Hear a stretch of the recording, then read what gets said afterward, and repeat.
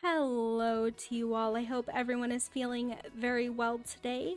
My name is Emily and I will be showing you a preview of my completed Sims 4 save file version 2, which is just my completed save file updated for the Growing Together slash Infants update. If you are interested, I will have the download link down in the description below.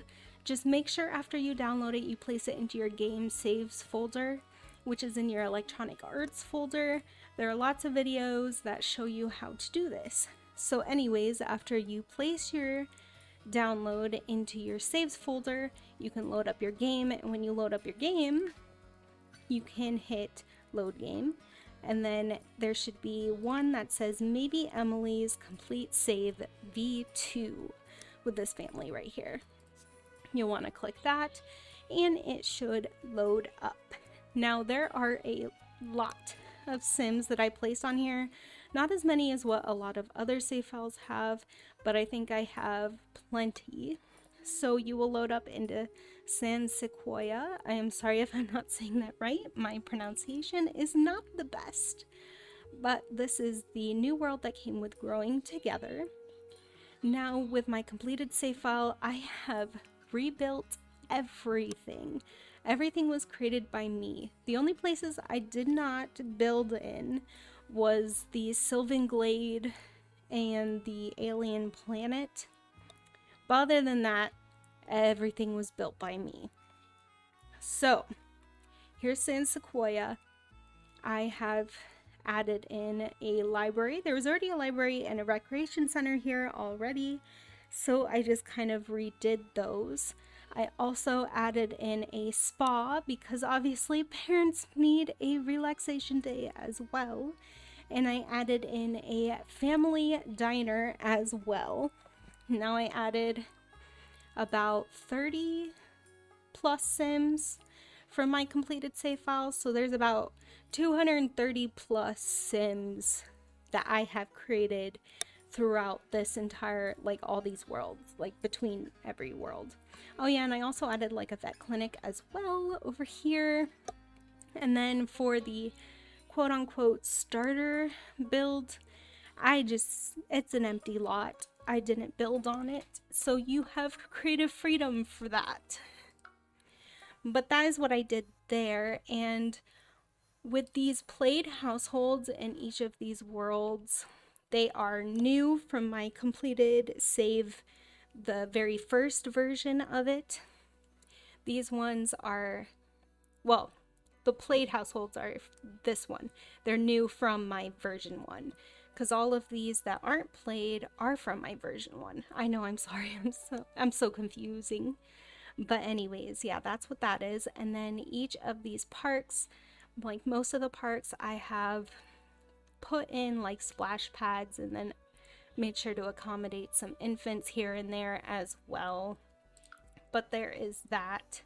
So I can kind of show you a little bit of the builds that I have created. Most of these are on the gallery with the origin ID Wickford. So here is one of my builds that I have created for this family. Now, I like to build. I don't like to decorate. so the decoration kind of lacks for these builds, but I would say that if you want to, you are more than welcome to redecorate, redesign the inside of these homes. I don't mind at all. But here is the layout for these, well, for this house in general. And then if you kind of look throughout in the world, there's like the spa here and the library over there. You can kind of see that. So now I can go out again and I can show you another little neighborhood part of this. So I can come over to the McKay family and show you their home. I did make sure I incorporated infants, obviously, throughout. So here is the McKay's family home right here. I can kind of show you the inside. Like I said, basic furnishing is what I do. But here is that. And I don't know if you can see any other ones. Well, the diner's over there. You can kind of see that. And then there's uh, the recreation center over there. So there is that. I do, like I said, I do have most of these on the gallery. My origin ID is Wickford. I will have it down in the description below just so in case you want to know how to spell it and whatnot. But there's the vet, library, and so on and so forth. I did end up adding a few more clubs. So with that, I have about 18 created clubs altogether in this. But anyways, that is pretty much it. I can kind of show you each of these worlds if you haven't seen them before. So here is Willow Creek and Oasis Springs. And then you have Newcrest. And then Magnolia Promenade, or Promenade, however you want to say it. Windenburg. Windenburg's one of my favorite. I loved building in that. San Myshuno, which is basically all the apartments here. and then we have Forgotten Hollow. There are a lot of worlds now. And then Brindleton Bay.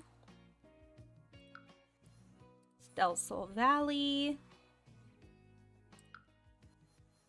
Strangerville.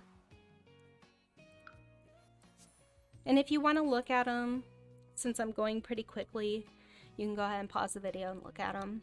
Go back, pause, whatever. but here's Sulani. Oh yeah, for Sulani I did add a rental. And then Glimmerbrook. Britechester. This one was one of my least favorite worlds to make. And then we have Evergreen Harbor.